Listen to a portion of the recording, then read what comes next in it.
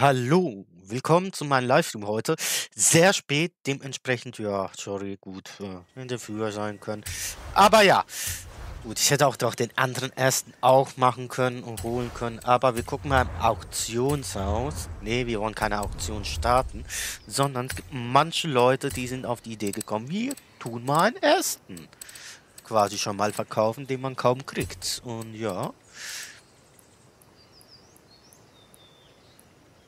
Aston Martin von 2016 müsste es sein.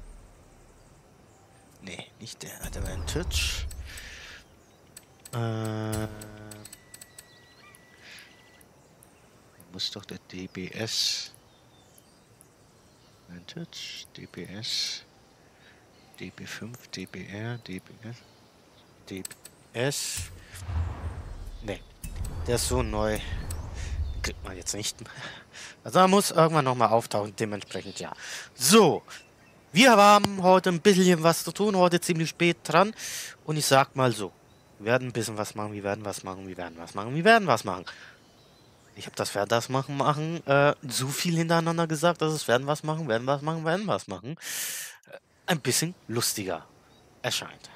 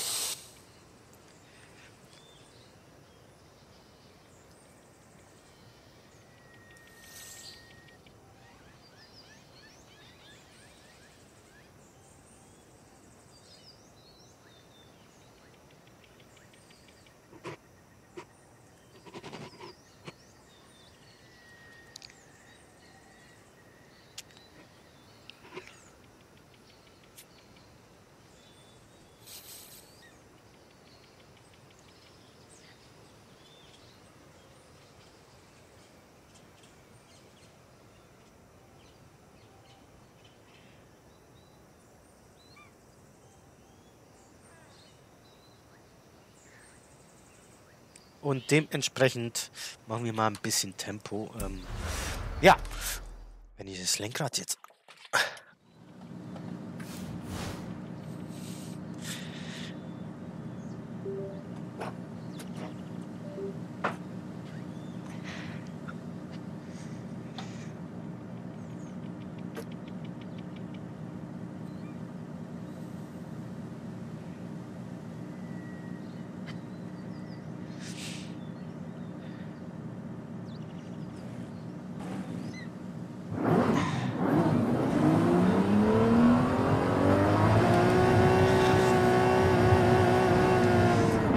Ja, und dementsprechend können wir was machen. Und ja,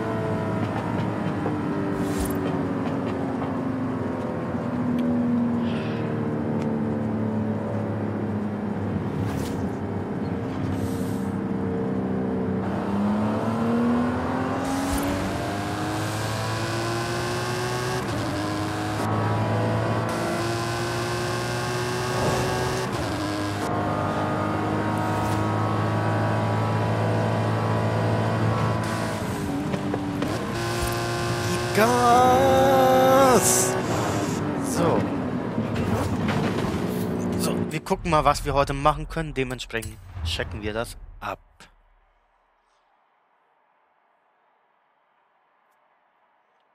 So, heute können wir den Königreich CCX und den Leiken Hypersport. Ja, ich weiß nicht, ob ich heute beide kriege. Aber wir werden heute sicher den machen. Versuch und Irrtum. Okay, Versuch und Irrtum. Sie hört sich nach Rallye oder Offroad-Meisterschaft an. Oder Querfeld ein. Und wir wissen ja, Querfeld ein. Ist nicht meine Lieblingsdisziplin. Pickups und Allrad. Oh, C600. Pickups und Allrad. Halt. Halt, stopp. Da muss ich doch was in der Kategorie sogar was haben. Pickup und Allrad.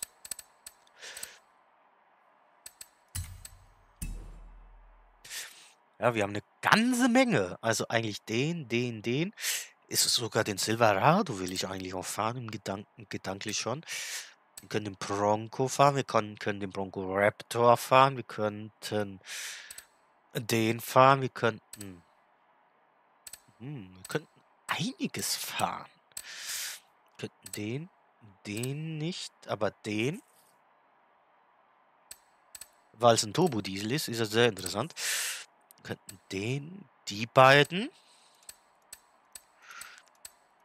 Wo es er den Tundra nehmen würde, wegen der Beschleunigung. Und wir nehmen den Tundra. Wir nehmen einfach den Tundra. Toyota Tundra TRC Pro, TRD Pro.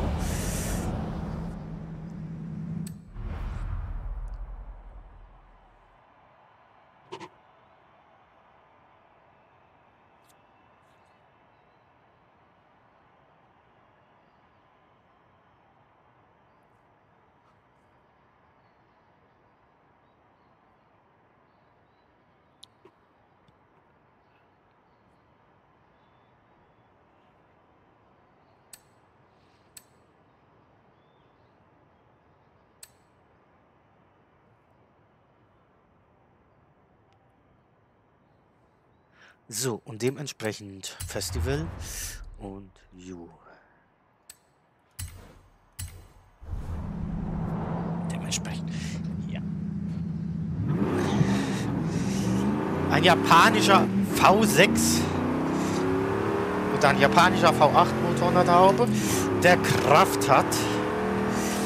Auch ein V6 Motor kann kraftvoll sein. Wir wissen ja, wie kraftvoll die sind. Wir haben sogar Ralliat. Ralliat war früher immer so mit Mitsubishi. Man seine gewisse Zeit jetzt wohl auch Toyota. Normalerweise müsste es jetzt nicht TND heißen, sondern GR, also Toyota Tacoma GR Pro, weil Yasu Racing und nicht mehr Toyota Racing Development. Wow dementsprechend, ja.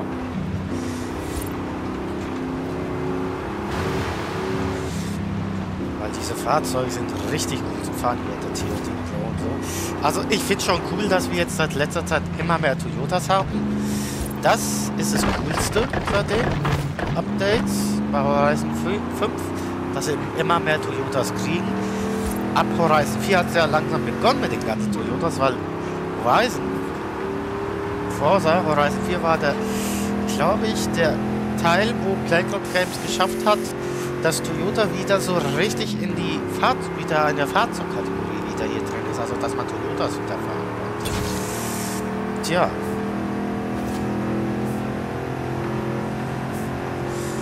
Das ist schon eine coole Sache. Dementsprechend, ja, finde ich auch recht cool.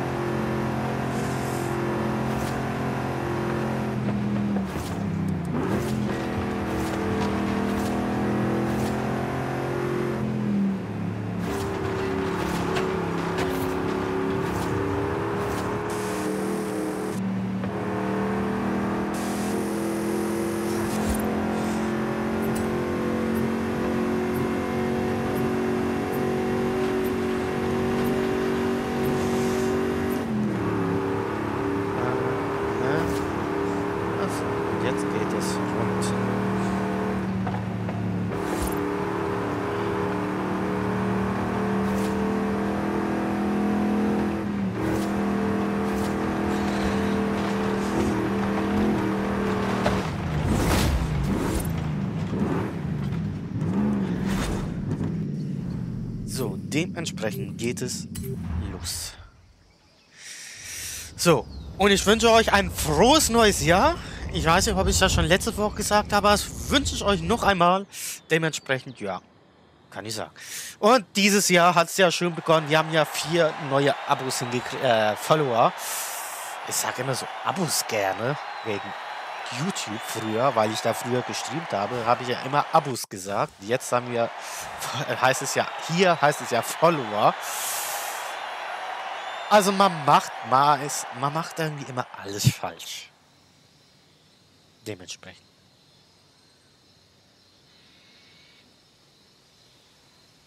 Seit neuestem haben wir auch hier die Funktion bei Twitch gemeinsam streamen. Wie klar, die ist sogar neu. Nippon Denso. Wow. Also dementsprechend. Geiler Scheiß.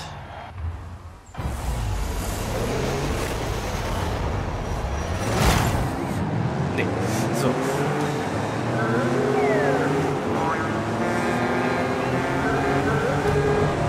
Wir hören die tausend, tausend und einen. Tausend und eine Hupe. Wir gerade dementsprechend.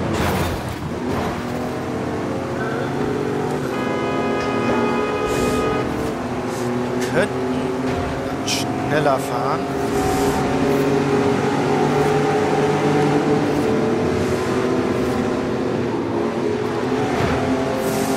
Es ist unglaublich, wie schnell ich mit dem Ta- Tacoma bin. Wow!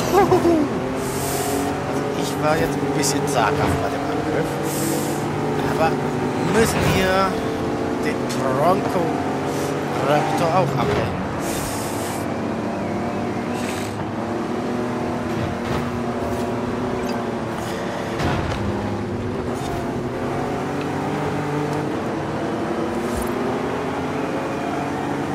Aber wir haben noch drei Runden, also wir haben noch Zeit.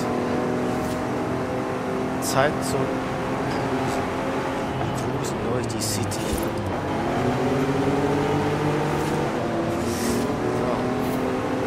So. Zweimal geholt.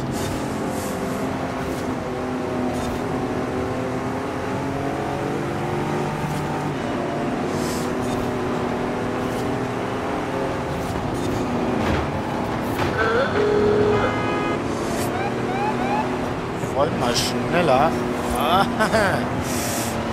So, das können wir erstmal. Oh.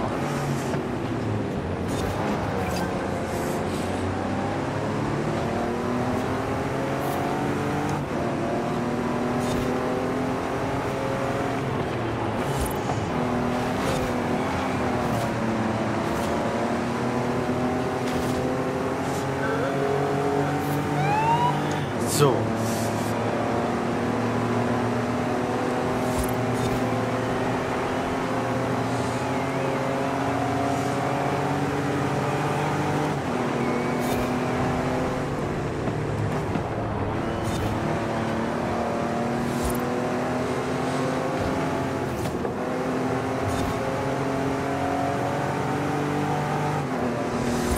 So, dementsprechend geht es weiter voran.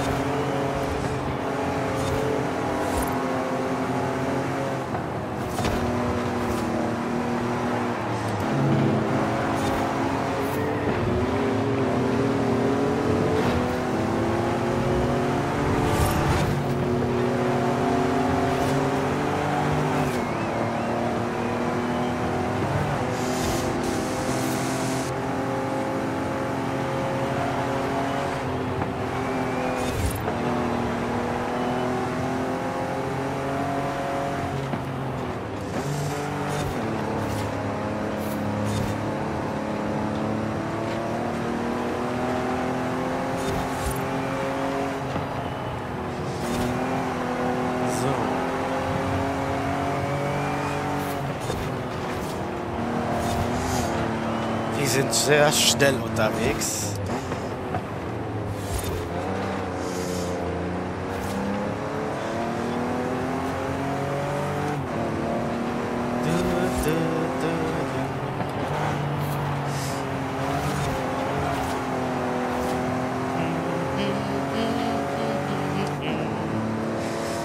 Ja, ich summe mir was entgegen, weil ich habe wieder einen Horror.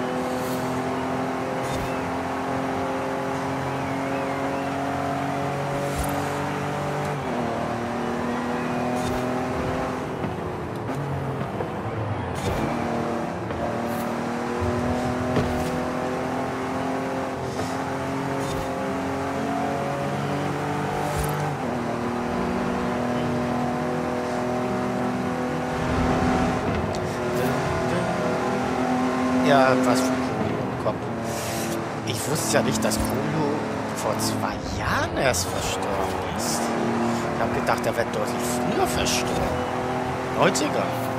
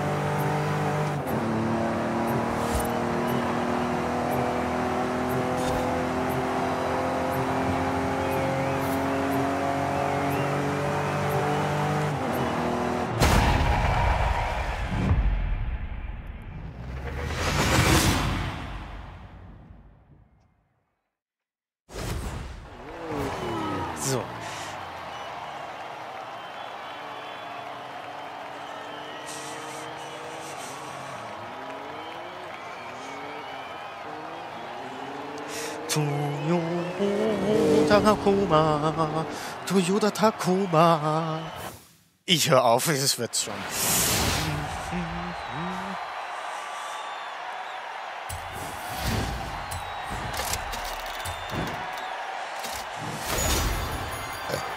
Also dementsprechend.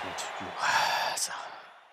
Aber nicht, wir haben nicht das typische Renault, äh, äh, nicht Renault, sondern Toyota-Logo vorne dran, sondern das, den Toyota-Schriftzug vorne dran. Also nicht das Toyota-Logo, Logo, das Toyota-Zeichen, sondern das, den Toyota-Schriftzug. Dementsprechend interessant auch bei den Toyota-Modellen der SUVs. Ich habe eher gedacht, die werden ihr Markenlogo statt ihren Schriftzug vorne drauf machen. War ein großes. Toyota.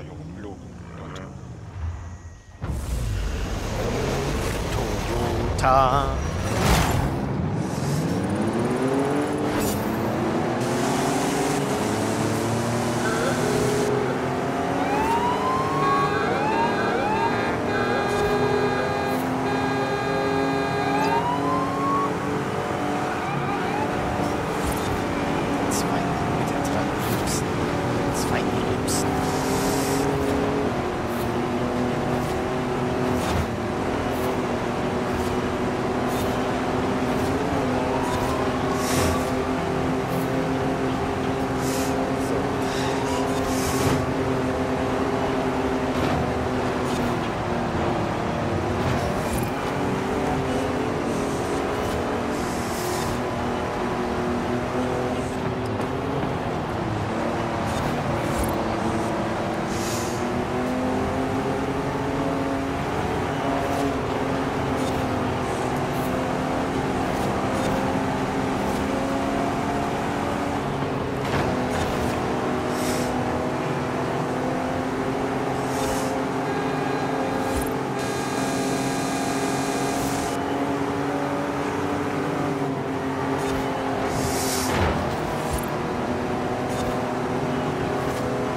So. Aber wir sind schnell unterwegs. Wir haben wieder nur drei Runden, also genug Zeit wieder zu gewinnen.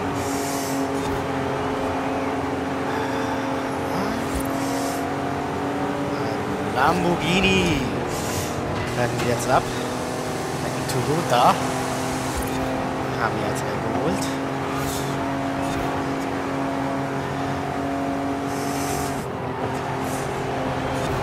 Der untersteuert, der hat so Untersteuerprobleme. Ich kann auf dem Gas bleiben. Er kämpft ja schon.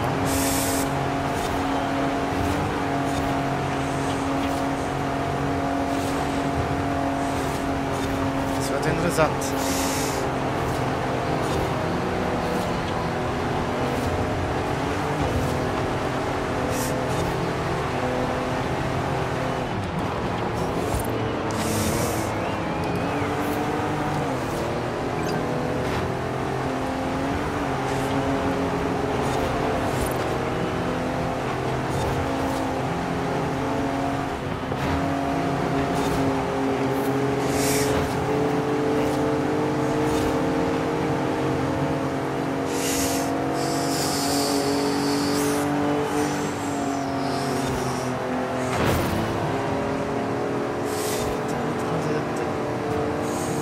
Das war jetzt durchrushen.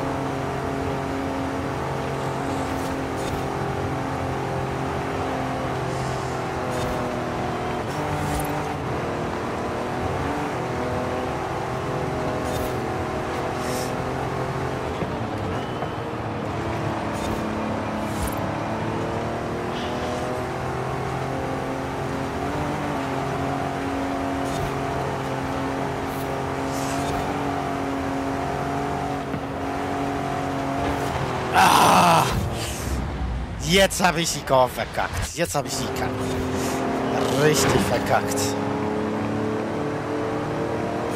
Jetzt habe ich zu viel gewollt. Na gut. Es hat bewiesen, dass der richtig schnell fahren kann.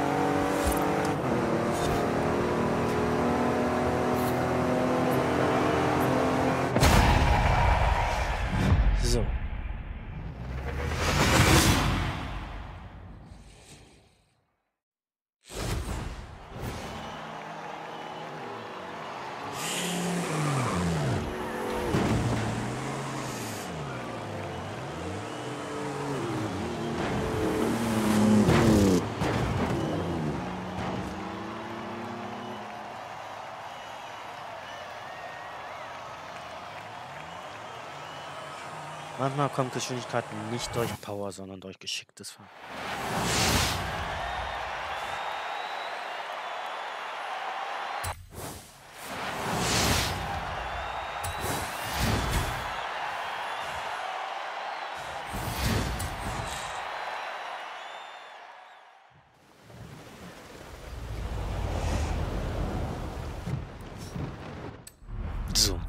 Dementsprechend haben wir jetzt einen Cayman KTS, ja, Gran Turismo Sport.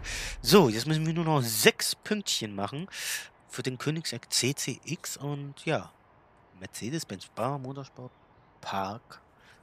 Okay, GP3L. Ford ist die Beschränkung. Aha, Motorsport Park. Ford A800.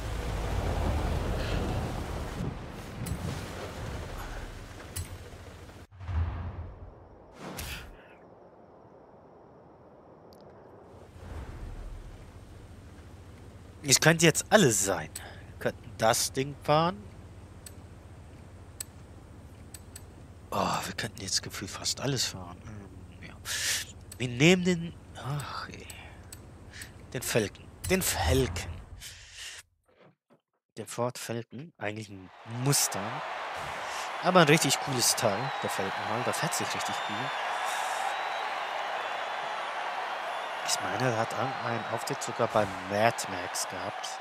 Aber das war das Grund Urmodell, was wir haben. Baha Motorsport.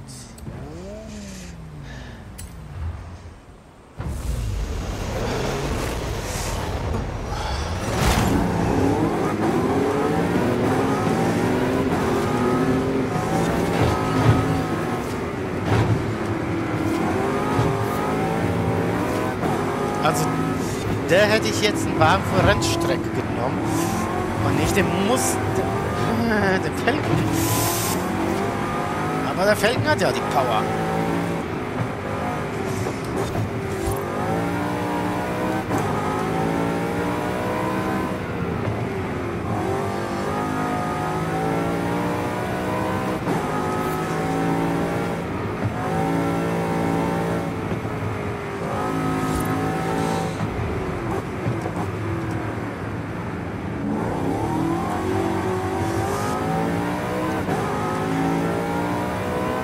Aber man merkt, ich hab, der hat schon brutalen Antrieb.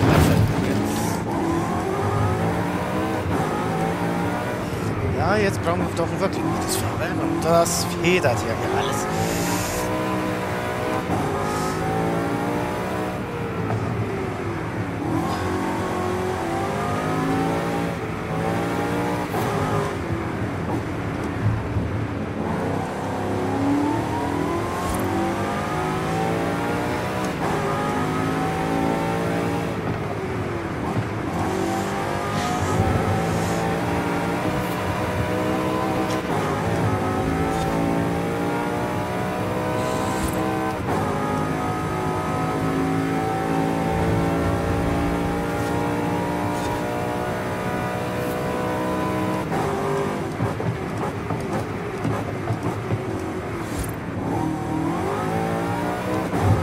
Glück haben wir einen siebten Gang für Überraschungen.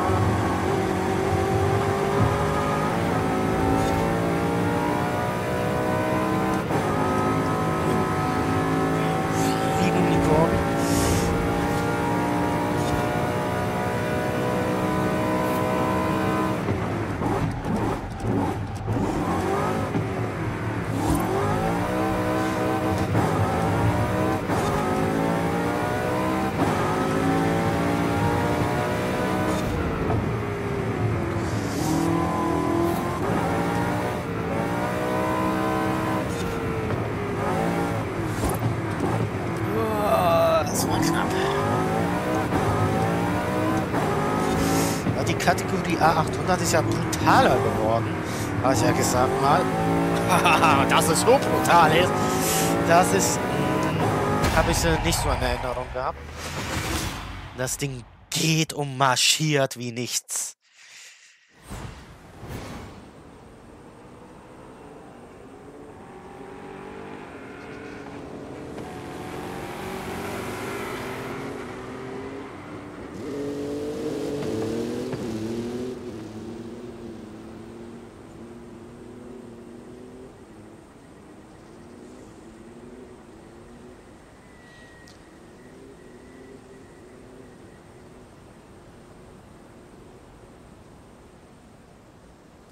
So, äh, ja.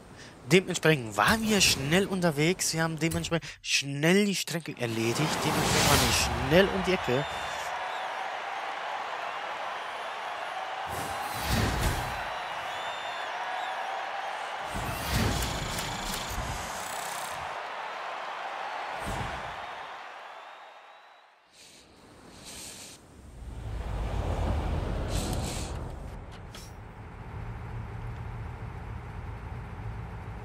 So. Jetzt haben wir einen C63, aber für was brauchen wir einen C62, wenn wir noch drei Punkte noch brauchen. Dementsprechend sind wir heute flott unterwegs mit einer halben Stunde. Und ja, machen wir jetzt mal weiter. Wir haben heute Super Saloons A800.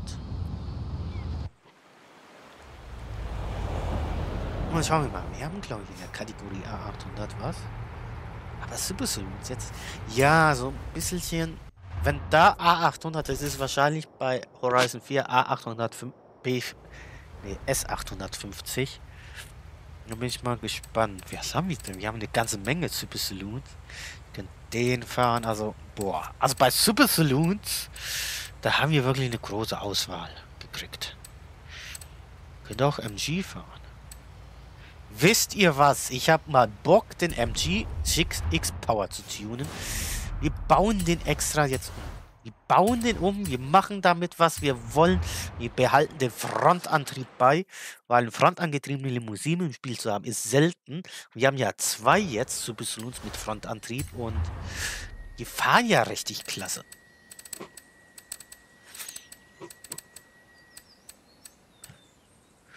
Und schauen wir mal, was wir da so machen können.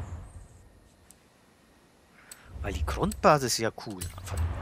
So, wir nehmen mal das Bloody Swaying Green, was ich so gerne nenne. Und gegen was anderes. Wir machen den. Des Weiteren wäre auch ein grüner eigentlich passender. Ja. Warten wir mal. Wir machen mal.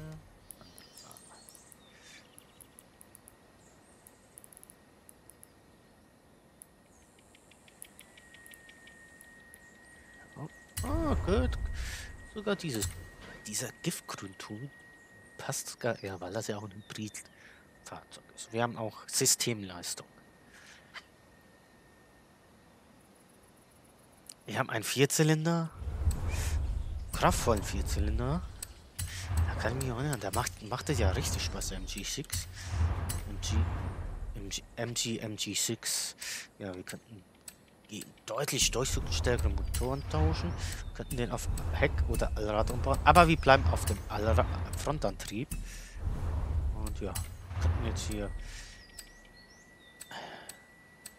das mal, aber wir bleiben dort drauf. Und wir gehen mit den Bereifung schon krasseres Kaliber. Wir brauchen schon Grip. Jetzt, jetzt brauchen wir schon mal Grip.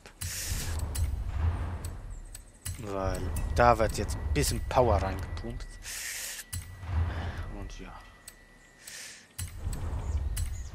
Ein Auto aus China. Ja.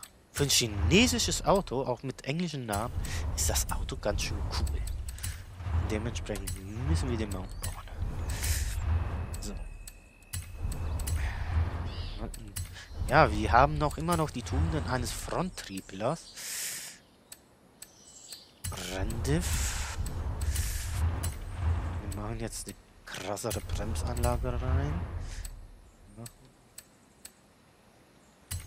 Ja, da hat ja schon auch nicht Bodenfahren. Jetzt hat er ordentlich. Eine ordentliche Tieferlegung.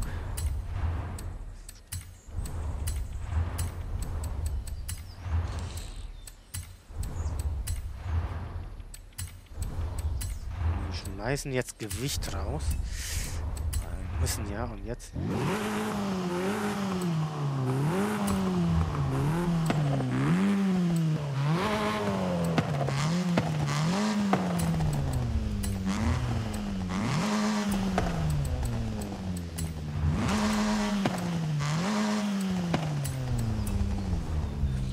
sind mit 328 PS leicht dezent, leistungsmäßig dezent noch unterwegs. Aber das Interessante ist, es ist der Frontantrieb mit dieser Limo.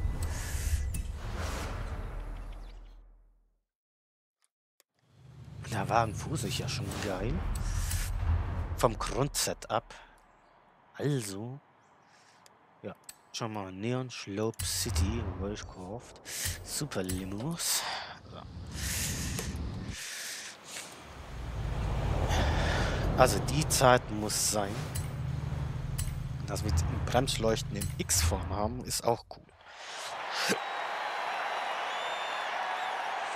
Ja, die Farbe kommt gut rüber. X-Power in England. Aber nur Frontantrieb. Also ich weiß nicht, wie der Wagen jetzt sich verhält. Ich fahre jetzt komplett blind. Ich sage mal, schau mal, der Wagen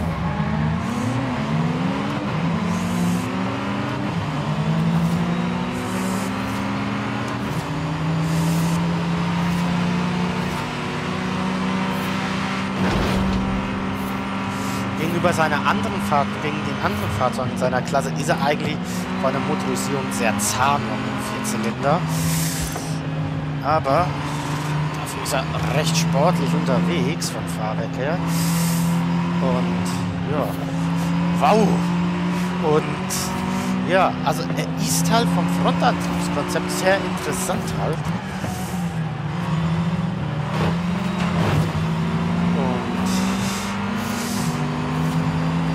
Ja, ein sehr interessantes Fahrzeug halt dementsprechend. Mal schauen wir mal, was er schon kann. Bei den Super Saloons würde ich den Audi RS3 nie setzen. Der RS, die RS3 Limo. Weil für mich ist es kein Super Saloon, ist der hier schon mehr. Aber die meisten kleinen Limousinen haben Standard. Die Hinterrad und kein Frontantrieb. Und das ist schon ein Fahrzeug, der hier ja gegen die größeren Musik hier antritt, in Japan, in China, gegen BMW und so. Und Luxusgüter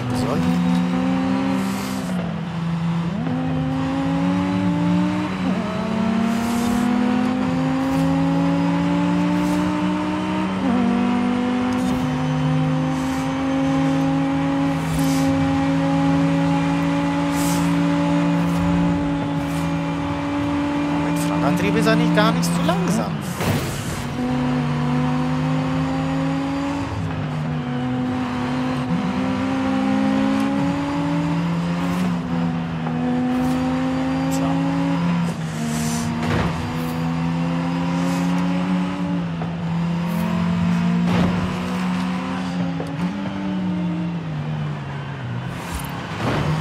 hat immer noch die Tendenz immer noch zum Untergang. Das war jetzt hier gerade. Aber wenn man hier guckt, der meint Sportlichkeit ernst. Deutlich ernster als der Nissan Sentra.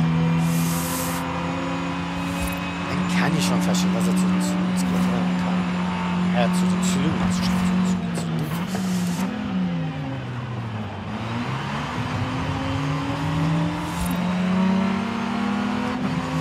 Der quirlige Vierzylindermotor unter der Haube, der macht richtig Spaß. Hab ich ja mit dem Lincoln Co. den großen Spaß ja auch gehabt. Das ist ja, glaube ich, auch ein Front. Nee, der hat Allrad.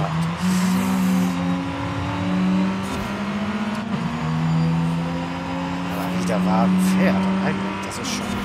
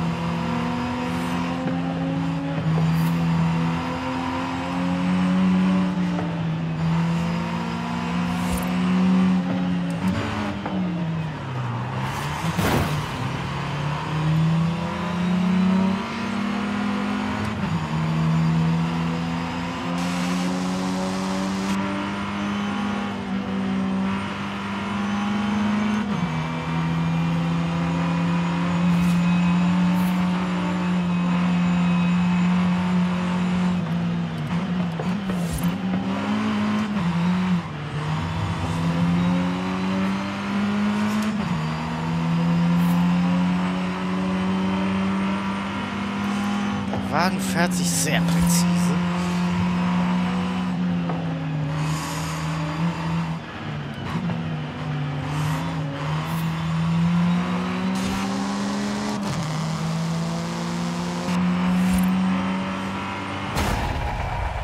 ...183 durchs Ziel, also 82 kann man ja sagen. Das ist sicherer 182. Puh, der Wagen hat richtig Spaß gemacht. Also...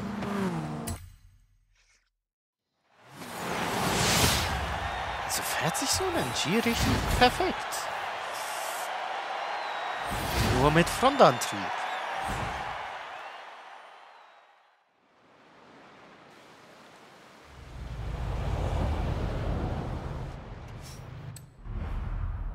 So, dann haben wir jetzt ein Königseck und dementsprechend schauen wir mal, was wir hier in die nächste Zeit haben. Ja, wir haben ein bisschen was noch. Aber dementsprechend sage ich Tschüss und Adios, amigos. Wir sehen uns in der Let's Play-Folge morgen erst dann. Und sage Bye.